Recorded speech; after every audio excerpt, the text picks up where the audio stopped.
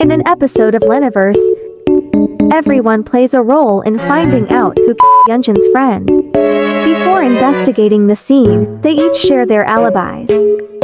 Kazuha uses this opportunity to talk about her scene being cut from that episode.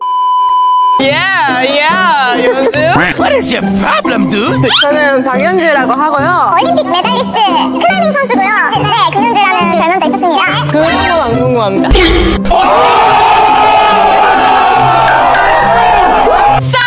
그래서 딱히 말할 게 없는데 그래가지고 어 오늘 벌써 의심스러워요. 의심해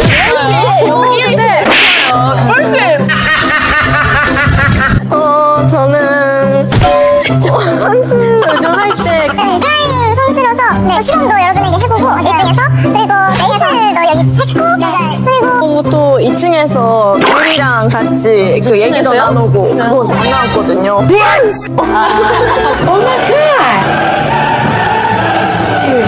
meanwhile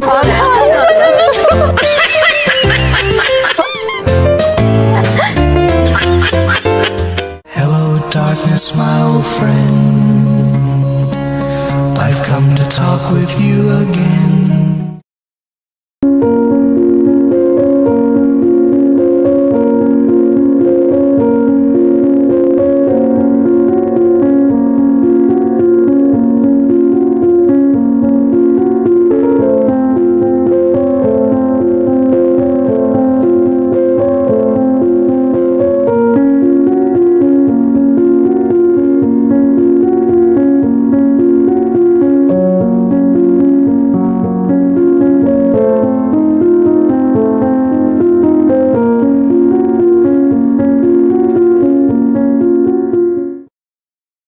Ha ha ha!